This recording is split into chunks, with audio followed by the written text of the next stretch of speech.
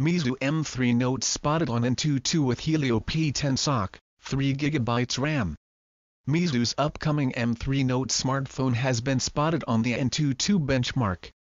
The listing reveals that the device is powered by a MediaTek Helio P10 chipset and sports a full HD display.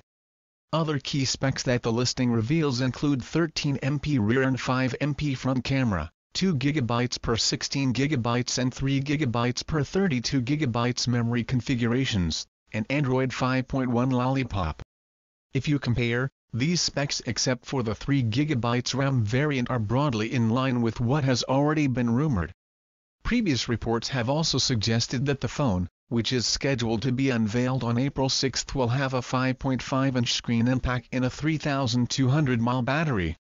As for the price, the 16GB variant is said to carry a tag of RMB 799 $122, 109 while the 32GB model will cost RMB 999 $153, 137